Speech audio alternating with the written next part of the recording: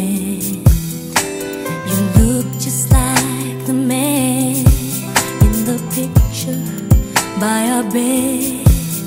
The suspense is pounding and clouding up my head. I'm checking your clothes and you wear the same size shoes. You sleep in a spot and you're driving his car, but I don't know.